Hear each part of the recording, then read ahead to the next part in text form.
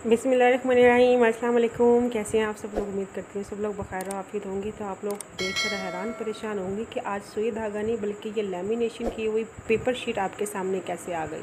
तो सरप्राइज़ है आपके लिए। ये मेरी थोड़ी फ्री टाइम की एक्टिविटी है, थोड़ा शौक़ है मेरा।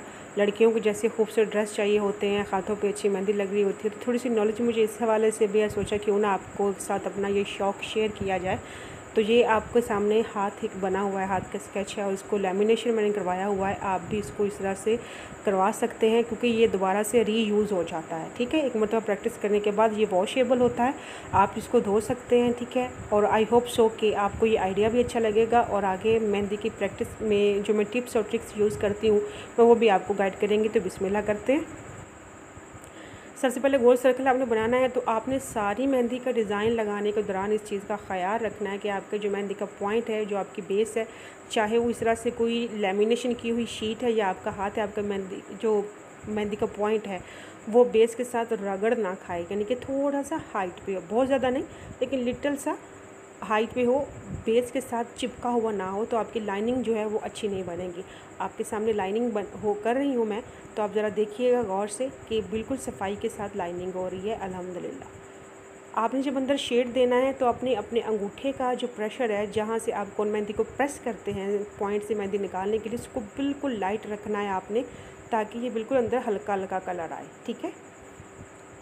अभी जो किंगरी बनी हुई आपको नज़र आ रही है, जो मैं बना रही हूँ तो इसमें आपने ध्यान रखना है कि दोनों स्टेप्स के बीच में जो गैप है वो एक जैसा हो, इसकी हाइट भी एक जैसी हो। हार्ड एंड फास्ट रूल नहीं है। आप स्टार्ट में अगर प्रैक्टिस करेंगी तो मे भी छोटी मोटी गलतियाँ हो भी जाएँ, लेकिन मेहंदी एक ऐसा आर्ट है जो कि आपके हाथों को खूबसूरत बना देता है, आपके मूड को अच्छा कर देता है तो टेंशन लिए बिना ये काम करना है। ठीक है? इसकी आउटलाइन करेंगे, ये मैंने कैरी शेप बनाई है। ये मैं टीयर ड्रॉप्स बना रही हूँ और ये प्रेशर तकनीक से है।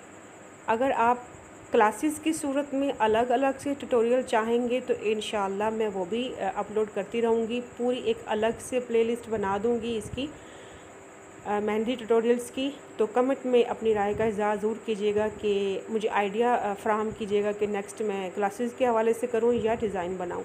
तो इन मिक्स करते रहेंगे, कभी क्लासेस, कभी डिज़ाइन, अच्छे अच्छे आपके साथ शेयर करती रहूँगी। ये देखिए, इस तरह से। अब ये मैं सी शेप के फ्लावर्स बना रही हूँ, ठीक है? पत्तियाँ हैं, इसके देखें फाइव की तादाद में पत्तियाँ हैं और सबके साइज़ सेम सेम है। इसमें भी कोई टेंशन वाली बात नहीं है। अगर किसी पत्ती का साइज़ कुछ उन्नीस, बीस हो भी जाए, इट्स ओके। लेकिन पत्तियों के साइज़ एक जैसे रखने का मकसद ये है कि जब सभी के एक जैसा साइज़ होगा तो बहुत खूबसूरत लगेगी, नफासत से लगी हुई लगेगी। ये कर्व बनाएँगे। उप्स मेहंदी अच्छे फ्लो वाली लीजिएगा कि अच्छी रवानी के साथ चले मेहंदी। वरना आप मेहंदी लगाते लगाते फेडअप हो जाएँगी कि, उफ, ये तो चल नहीं रही। और पाँच मिनट का जो काम है वो आधे घंटे में होगा। बहुत ही सिंपल सा, आसानी से बनने वाला डिज़ाइन है। और ये देखिए, ये पत्तियाँ मुझे पर्सनली बहुत अच्छी लगती हैं। ये प्रेशर तकनीक से जो बनती हैं इन इस पर भी मैं एक मुकम्मल ट्यूटोरियल बनाऊँगी। अभी जस्ट मैंने ये एक छोटा सा अपना शौक़ आपके साथ शेयर किया है कि मेहंदी लगाने के दौरान मैं कौन सी टिप्स एंड ट्रिक्स पे अमल करती हूँ।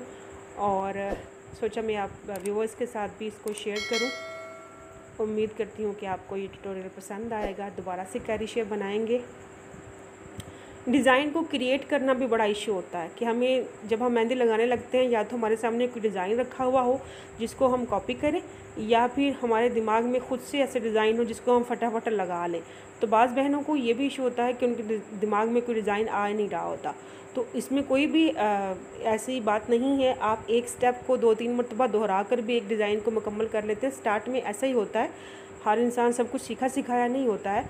तो जिन जो मेहंदी लवर्स हैं वो स्टार्ट में एक ही स्टेप को जैसे ये कैरी शेप है तो दो तरह की कैरी शेप मैंने बनाई है एक स्टार्ट में और एक अपनी फिंगर की तरफ़ जाते हुए। और देखें किंगरी है जिसको फ्रिल भी बोलते हैं किंगरी भी बोलते हैं उसको भी मैं रिपीट कर रही हूँ। और ये प्रेशर प्रेशर तकनीक से जो पत्तियाँ बना रही हैं वो भी ये जो डॉट है ये देखें गोल डॉट हैं ये भी आ, मैंने पहले भी बनाया है इसको भी रिपीट किया है।